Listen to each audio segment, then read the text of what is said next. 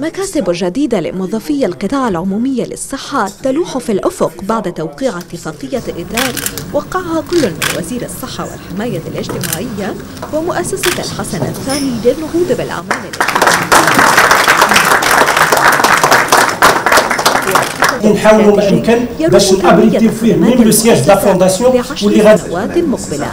2022 2031 الحدث ديال اليوم اللي كيتعلق بتوقيع ديال اتفاقيه ديال مع مؤسسه الأعمال الاجتماعية ما بين وزارة الصحة ومؤسسه الحسن الثاني للنهوض بالأعمال الاجتماعية واللي كتمكن من المؤسسة باش تواكب المشاريع اللي هي اجتماعيه اللي مستقبلية.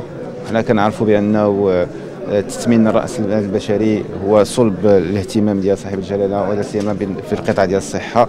توفير سبل الراحة والدعم لموظفي الصحة هو الهدف الأساس من الاتفاقية كإحداث نواد ومراكز اجتماعية ثقافية ترفيهية رياضية على الصعيد المحلي الجهوي والوطني.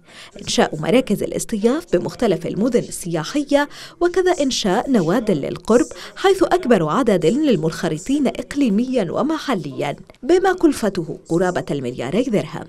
كما تضمنت الاتفاقية تجويد ورفع قيمة الخدمات الاجتماعية المختلفة كدعم الولوج للسكن، التأمين الصحي التكميلي، منح التفوق الدراسي، دعم مناسك الحج والمساعدات الاستثنائية. هذه الاتفاقية تسعى بطبيعة الحال إلى آه، توسيع قاعدة المنخرطين وتطوير الخدمات الاجتماعية للمؤسسة الاتفاقية فيها ثلاثة ديال المحاور. المحور الأول يتعلق بالجانب الاستثماري اللي بواحد المبلغ ديال جوج جوج المليار ديال الدرهم المحور الثاني يتعلق بالخدمات الاجتماعية الاعتيادية اللي آه، سيتم طبيعة الحال التجويد ديالها والتوسيع ديالها وكما آه، وكيفا. والمحور الثالث يتعلق بخدمات اجتماعية للقرب من آه، إحداث وتجهيز وكذلك تهيئة إعادة تهيئة يعني بعض المقاصف داخل الفضاءات الصحية والإدارية للوزارة بالإضافة إلى بناء دور حضانة وقاعة للصلاة.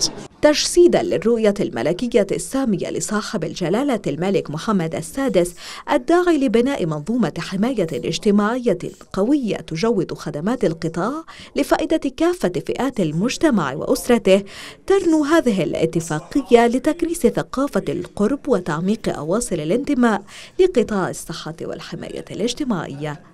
ما تنسوش ديروا أبوني لاشين وتفعلوا زر الجرس